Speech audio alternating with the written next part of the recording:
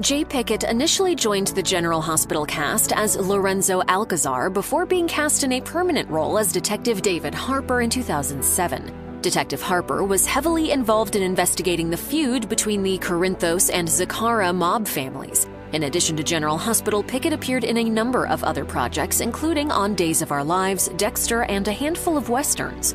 While filming the movie Treasure Valley in 2021, Pickett died suddenly on set from a heart attack.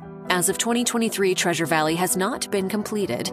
Following Pickett's death, GH paid homage to him with an in loving memory segment. Peter Facinelli, Pickett's co star in Catch the Bullet, mourned his loss, telling Us Weekly, The beauty about film is his performance will live on. Pickett was an avid fan of Westerns, which made his passing bittersweet, since he died doing what he loved best.